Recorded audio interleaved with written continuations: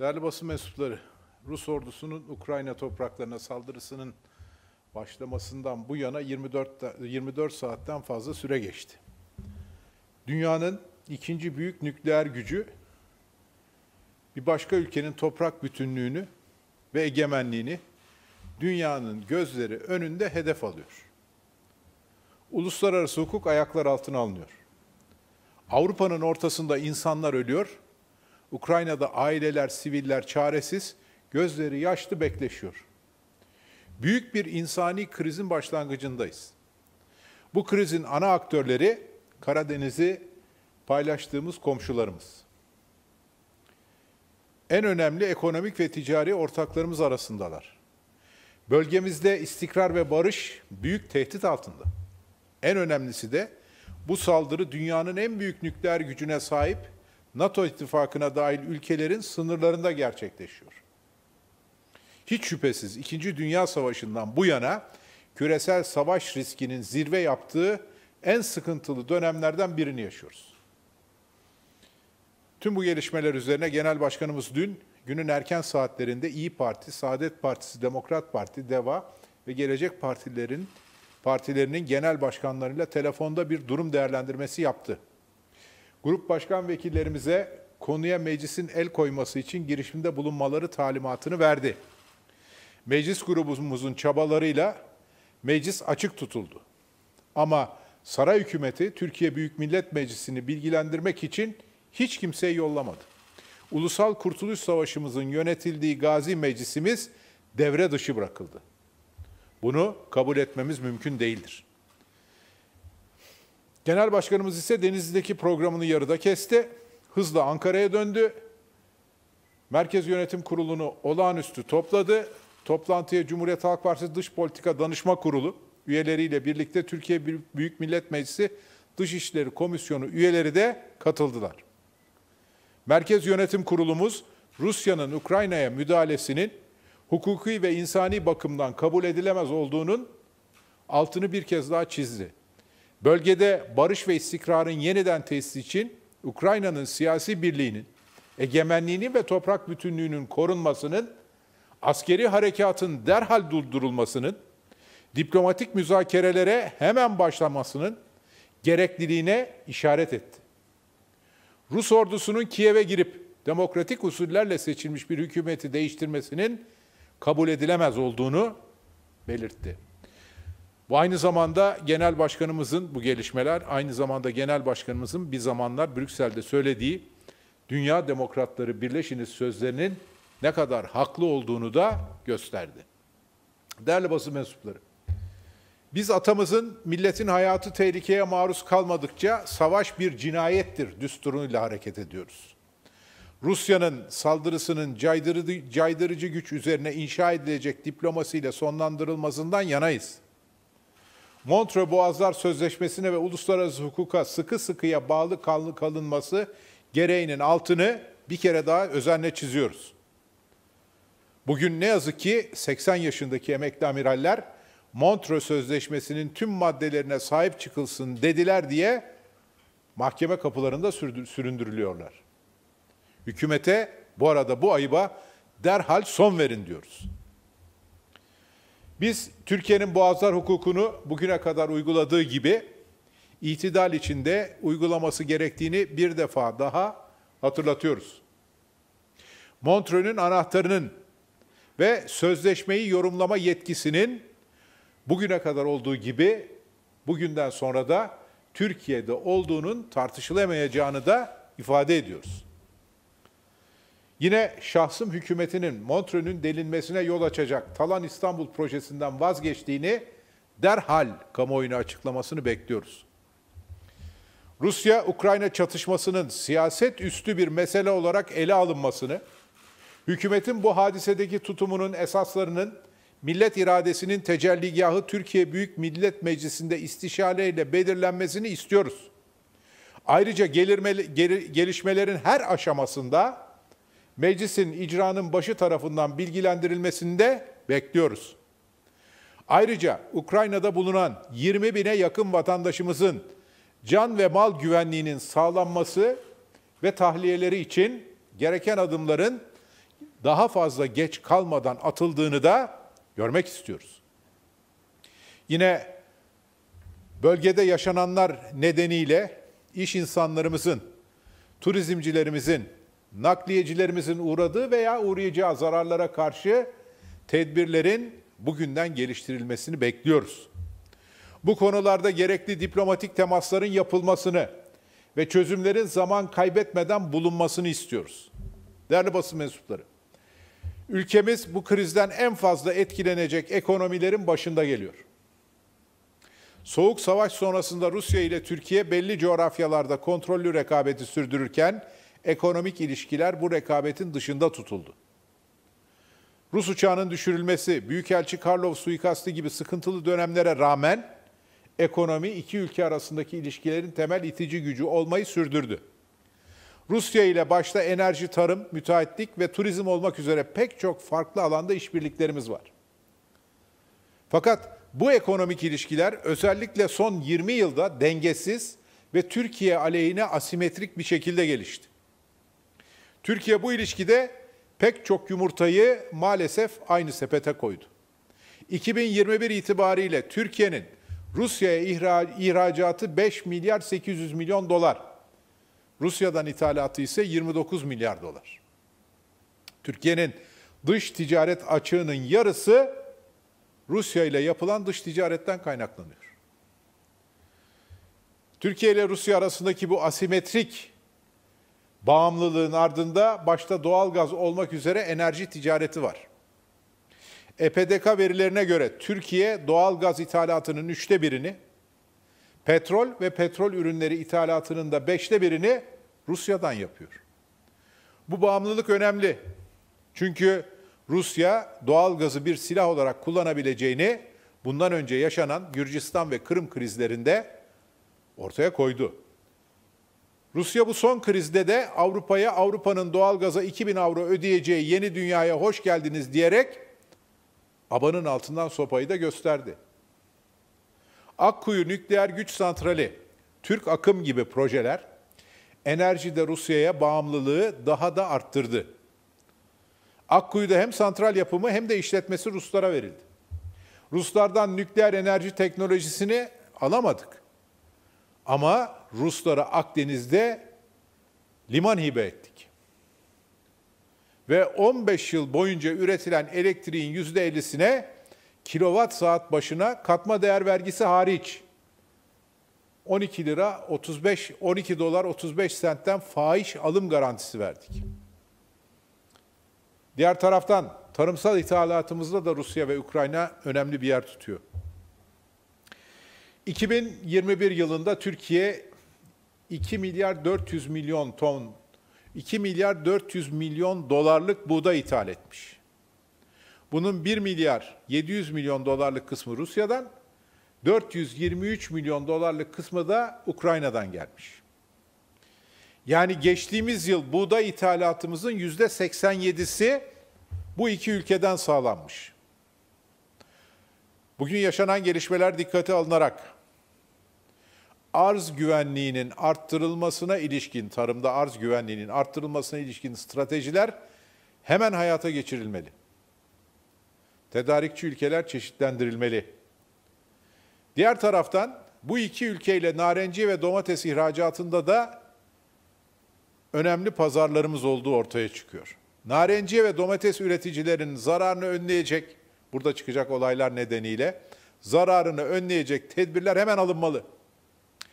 Bu iki ülke turizmde de önemli partnerlerimiz. 2021 yılında Türkiye'ye en çok ziyaretçi gönderen ülke Rusya.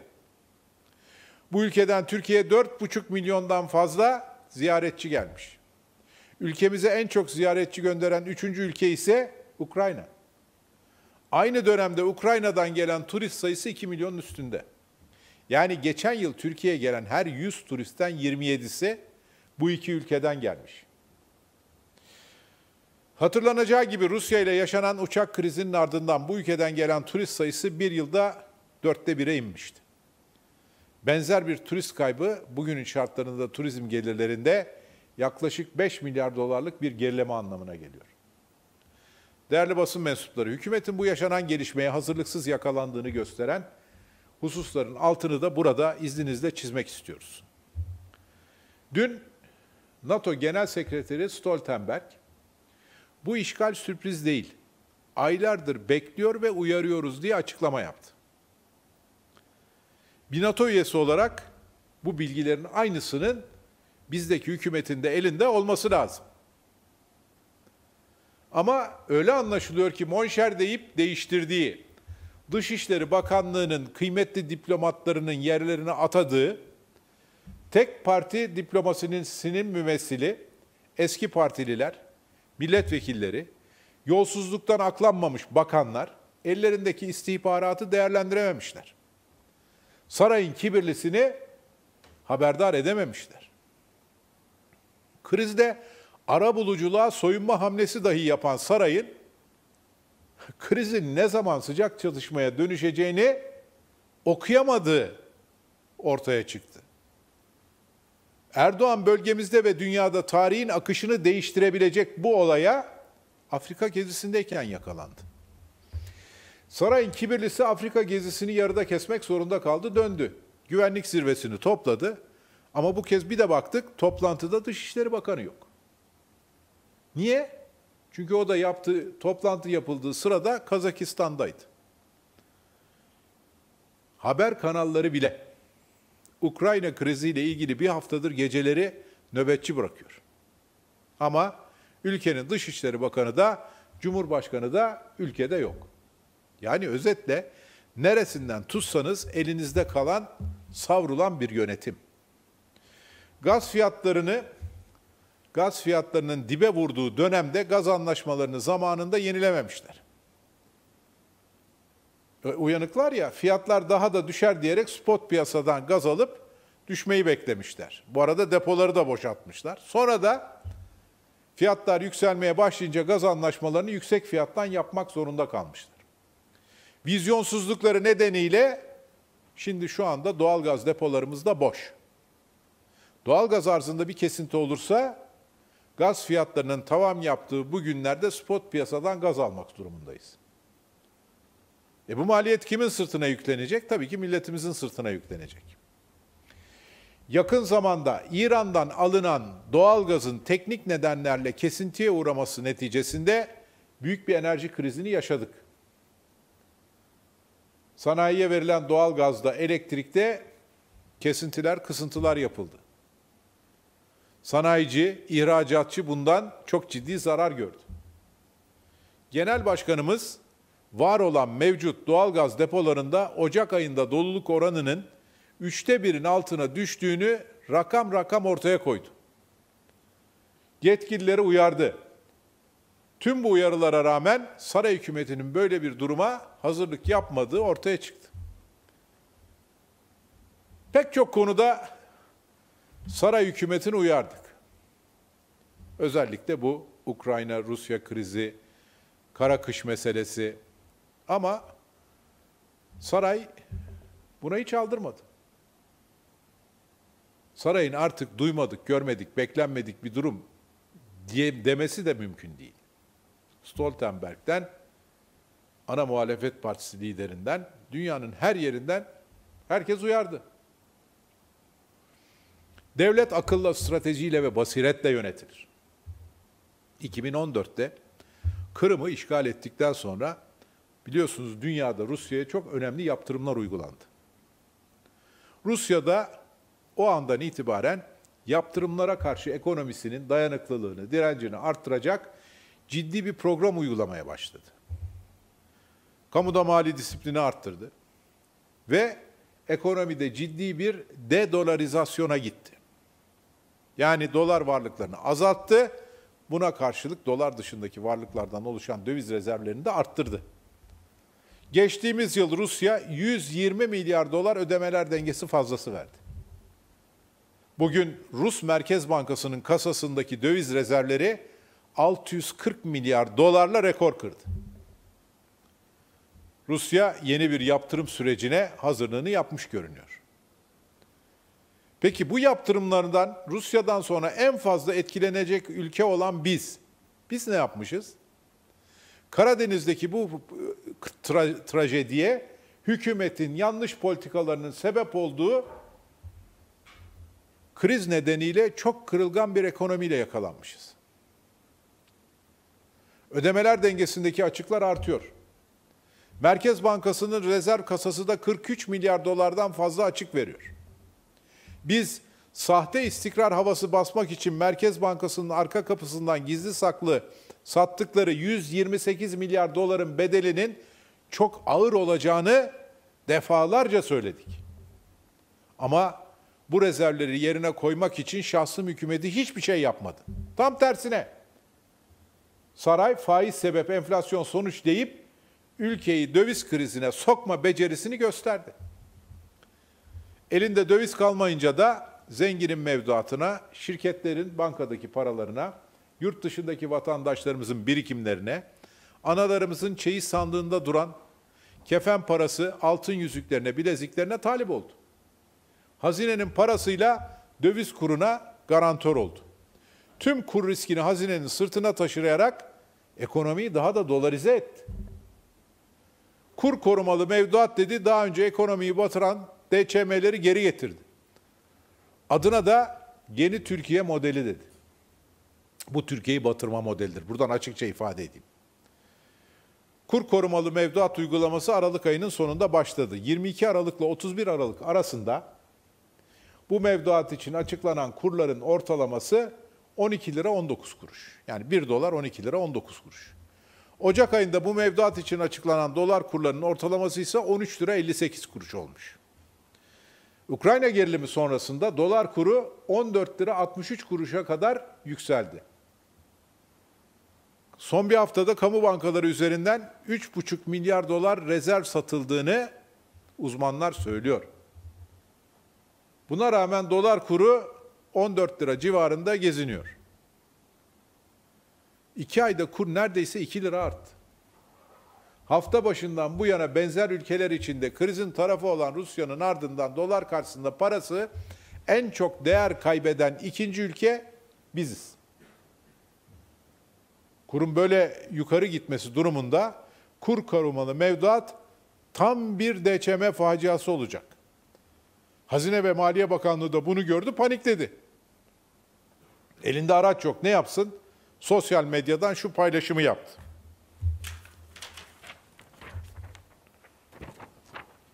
Bu yazıda Hazine ve Maliye Bakanlığı mealen şunu diyor.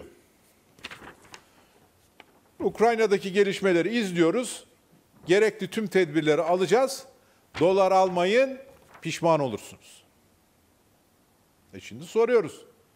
Bu savaşın çıkacağını bile bile neyinize güvenip de bu kur korumalı mevduatı getirdiniz? Ya insan hayret ediyor. Bu ülkenin Hazine ve Maliye Bakanı ile Dışişleri Bakanı küs mü? İhracatçıdan zorla aldıkları dövizler de dahil rezervleri cayır cayır yakacaksın. Kura tutamayınca panikleyeceksin. Millete döviz almayın diye bu tweet'i atacaksın. Çok açık söyleyeyim bu olsa olsa aczin ve akılsızlığın trajikomedisidir. Merkezi yönetimin toplam borçların içinde döviz cinsinden borçların payı 2018'de yüzde 45'miş. 2021'in Aralık ayında yüzde 66'ya çıkmış. Dolarizasyon bütün hızıyla yaşanmış. Şimdi dolar kurundaki her 10 kuruşluk artış merkezi yönetimin borcuna 14 milyar lira ilave ediyor. Putin ekonomisini de dolarize ederken biz dolarize etmişiz. Bu kadar basiretsiz davranılmaz. Bir ekonomi bu kadar da berbat yönetilmez.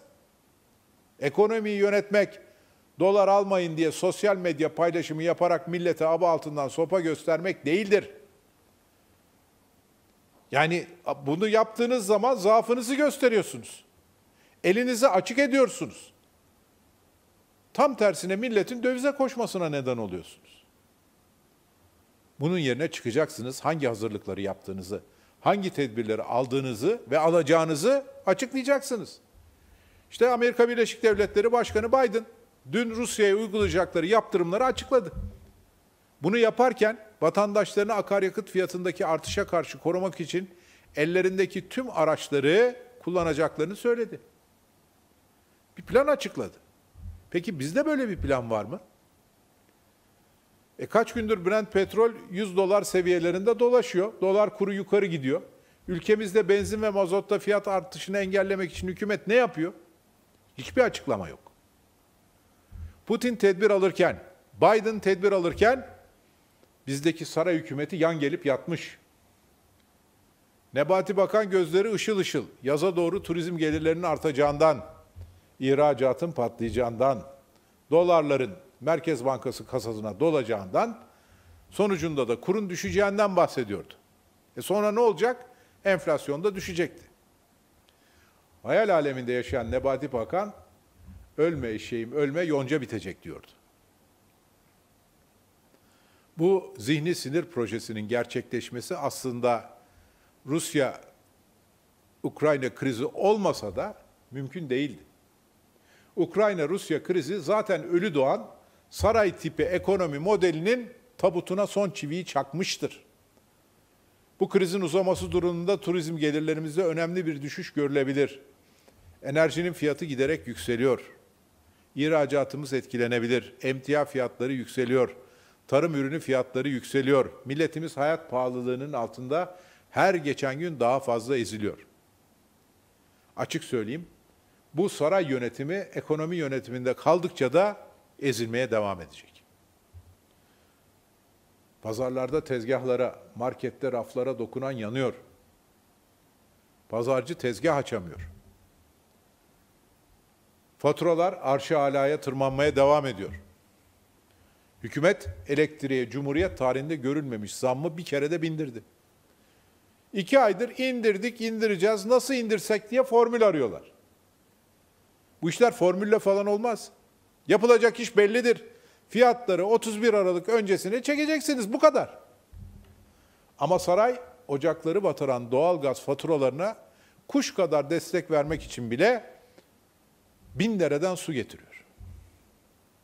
Desteği kışın sonuna verecek, sonunda vereceklermiş. Badel Arabil Basra. Esnaf kanı alıyor, işçi kanı alıyor, çiftçi kanı alıyor.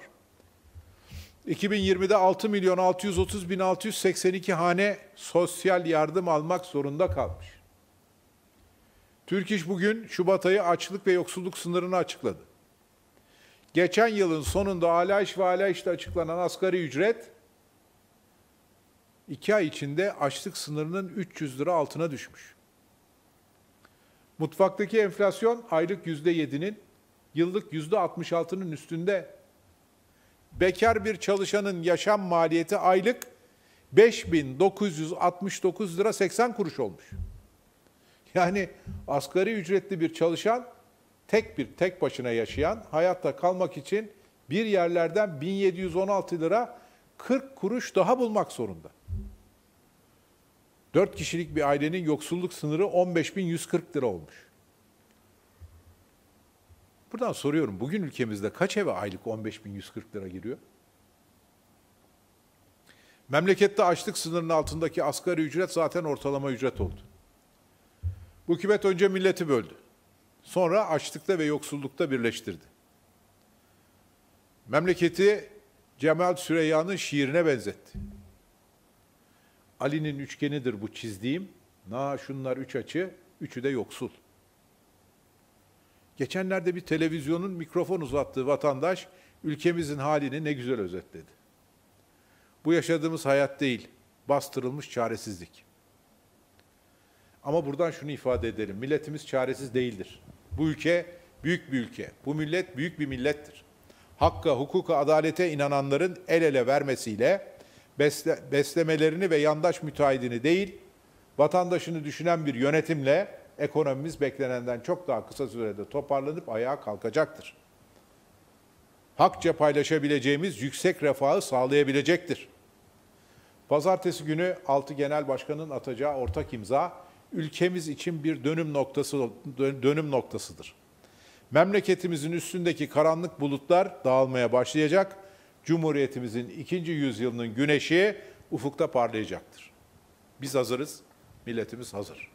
Benim söyleyeceklerim bu kadar. Dinlediğiniz için teşekkür ediyorum. Şimdi sorular varsa alabilirim. Efendim müsaadenizle bize yönlendirilen soruları aktaracağım. İlk olarak Habertürk tarafından yönlendirilen bir soru var. Soru şöyle. AK Parti Grup Başkan Vekili Ahmet Emin Akbaşoğlu 28 Şubat'ta yapılacak açıklama için 28 Şubat postmodern darbesinin geri çağrılmasıdır. 28 Şubat'a kapı aralanmıştır ifadesini kullandığı bu sözleri nasıl değerlendirirsiniz? Akbaşoğlu ayrıca güçlendirilmiş parlamenter sistemden Cumhurbaşkanı'nın nasıl seçileceğini sorarak meclis mi, halk mı seçecek diye sordu. Bu 28 Şubat'a kapı aralama ifadesi ve soru hakkında sizin değerlendirmeniz nasıl olur? Şimdi ilk e, ifadeyle ilgili olarak Genel Başkanımız defalarca söyledi. 28 Şubat'ta yapılacak açıklama rafa kalkan demokrasinin raftan indirilmesidir dedi. AK Parti'nin grup başkan vekili bunu nasıl yor, başka türlü yorumlanabiliyor, yorumlayabiliyor şaşıyorum. Bir de Cumhurbaşkanı'nın seçilmesiyle ilgili soru vardı. Şunun altını çizerek söyleyeyim. Biz milletimizin iradesine saygılıyız. Ama AK Parti Grup Başkan Vekili Ümit Yaşar Oğuzcan'ın şiirindeki gibi bir aytendir tutturmuş gidiyor. Bin kere ayten, milyon kere ayten. Efendim Habertürk TV ve ATV tarafından yönlendirilen bir ortak soru var. O soruda şöyle. Yine Akbaşoğlu, CHP Genel Başkanı Kemal Kılıçdaroğlu ve İyi Parti lideri Meral Akşener'in S-400'lere ilişkin açıklamalarını da eleştirdi. İki liderin açıklamaları için kin ve haset neticesinde söylenmiş sözler dedi. Buna yanıtınız ne olacak? Ee, devamında bir de Akbaşoğlu yine Ukrayna'dan şu ana kadar 5000'e yakın vatandaşın tahliye edildiğini ifade etti. Tahliyelerin ne aşamada olduğuna e, ilişkin bir bilginiz var mı? Ya da buna dönük size gelen çağrılar oluyor mu? Genel Başkanımız defalarca S-400'leri aldıysanız aktivite edin dedi. Edebildiler mi? Edemediler. Sonuç dünyanın en pahalılığı, hurdalılığı bizde oldu. Şimdi AK Parti Grup Başkan Vekili bu soruyu, bu hesabı sorabiliyorsa bir saraya sorsun bakalım. Ama kendisine bu soruyu sormadan önce tavsiyem sarayın küçük ortağı Sayın Bahçeli'den biraz matematik dersi almasıdır. İkinci soruyla ilgili olarak da açıklamamda belirttim. 20 bine yakın vatandaşımızın can ve mal güvenliğinin sağlanması ve tahliyesi için gereken adımların geç kalmadan atıldığını görmek istiyoruz. Biz dün mecliste toplantı istemesek meclisi kapatacaklardı. Biz dün ne olacak bu insanların hali diye mecliste sormasak, bizim grup başkan vekilimiz sormasa AK Parti grup başkan vekilinin bu konu aklına bile gelmeyecekti.